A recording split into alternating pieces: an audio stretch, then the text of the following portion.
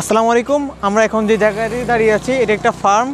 নিশ্চিন্তা মালটা বাগানও বলে, কিন্তু এটার নাম হচ্ছে ইউনিস অ্যাগ্রো ফার্ম।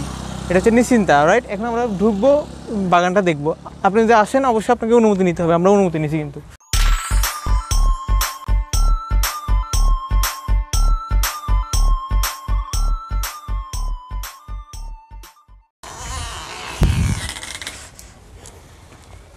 সবার সাথে সাথে এখানে বাগান, আপনি বিভিন্ন ফলের বাগান।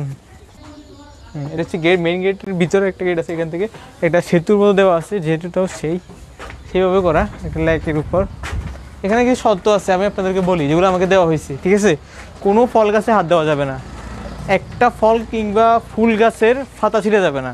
ফুল ছিঁড়ে যাবে না, মুখ ছিঁড়ে যাবে না। দূর থেকে দেখতে হবে। আর অবশ্যই ফ্যামিলি ওরা জিজ্ঞেস করছে আমাদের ফ্যামিলিকে নিয়ে আসছি কিনা। অবশ্যই আমি ভাইয়ে ভাই ভাবিকে নিয়ে আসছি। সো আসেন। দেখেন গেটের প্রবেশের সাথে সাথে দুপাশে ফুলের বাগান পড়বে হাত দিব না, যেহেতু আমাকে বলছে সত্য দেওয়া হয়েছে। অবশ্যই সত্য পালন করব আমি। এটা হচ্ছে মুরগি ফার্ম এসে ঘুরে দেখতে পারেন। এগুলো ফুলগুলোকে দেখাও। এগুলো গাছের ফুলগুলো দেখাও। গাছের ফুল দিচ্ছে। হ্যাঁ সব ক্লবই এগুলো হ্যাঁ। আসো, এদিকে আসো। সচরাচর এরকম খোলা অবস্থা মরক রাখে না, কিন্তু এখানে আমি খোলা মরক দেখছি তো আমি যতটুকু পারি আপনাকে দেখানোর চেষ্টা করব আপনাদেরকে, কারণ এখানে অনেক সীমাবদ্ধতা আছে। এক মানে বুঝেন তো আমাদের বাংলাদেশ, এখানে অনেকে অনেক কিছু মনে করে, আর এখানে অ্যাক্সেস পাওয়াটাও কিন্তু ভাগ্যের ব্যাপার, যেটা আমরা পাইছি, সবাই পায় নাই। সো গরমের দিকে বেশি মগগুলো একটু দেখাও একটু দেখাও। এটা নিষেধ আসছে বেশি কেন তো সীমাবদ্ধতা আমি বুঝি না। যাই হোক, এটা হচ্ছে কলটা খুব সুন্দরভাবে দেওয়া আছে, দেখেন, মোটরটা। আসো আসো। মালটা বাগান। মালটা আপনি দেখতে পাচ্ছেন, আমি হাত দিব না, যেহেতু হাত দিতে নিশ্চিত করছি, এটা একটা মালটা গাছ। আর এগুলো সবগুলো হচ্ছে একটা মালটা ফল। খুব, অনেক সুন্দর লাগতেছে আমার কাছে বিষয়টা। ফার্ম, আর আপনি একটি আমাদের দেশীয় দেশীয় কলা। এখানে অপরিপক্ষ আর বাগানের যে জিনিসটা একটু সুন্দর লাগছে আমার কাছে খোলা অবস্থায় তারা মরকগুলোকে খোলা অবস্থা রেখে দিছে। আর মরকগুলো ও কালারটা একদম পুরো ব্ল্যাক ব্ল্যাক মরক রাইট সো এখানে নার্সারি দেখো তুমি নারিকেলের ইয়ে করছে, গাছের। হ্যাঁ খুব সুন্দর। একটা একটা ইয়ে আছে আমি আমি দেখাই একটা যে পোকা মারার, যে এই নিষিদ্ধ যে খারাপ পোকাগুলো আছে, ফসলের ক্ষতি করে, ওগুলো মারার জন্য গ্রাম্য একটা ইয়ে আছে, কার্যকরী পদ্ধতি সেটা হচ্ছে এটা। এখানে ওষুধ দেওয়া আছে, এটার মাধ্যমে যেসব ক্ষতিকারক পোকা আছে, যেগুলো ফসলের ক্ষতি করে, ওগুলো এখান থেকে মেরে ফেলা হয়। সো বাগানটা একটু ঘুরে দেখাও।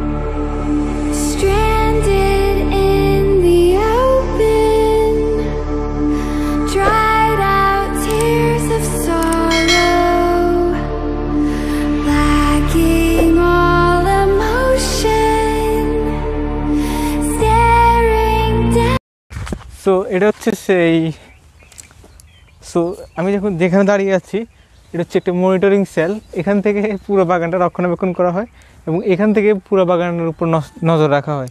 কীভাবে উঠে আমি জানি না। তারা কীভাবে এখানে উঠে, কোনো মই দেখতে পাচ্ছি না হয়তো বা এগুলো দিয়ে তারা উঠে। সো এটাই।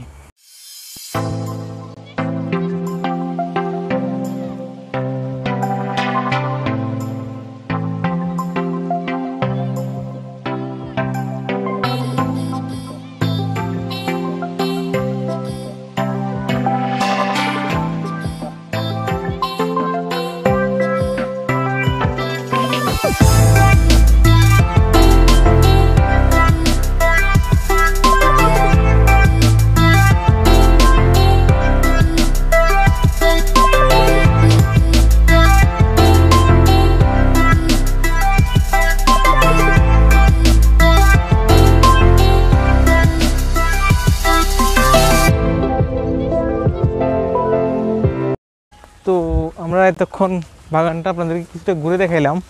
আমরা এক পাশে গেছি, ওই পাশে যাওয়ার মতো তেমন জায়গা নাই। যেমন বাগানে বাগানের মাঝখানে যেতে হয়।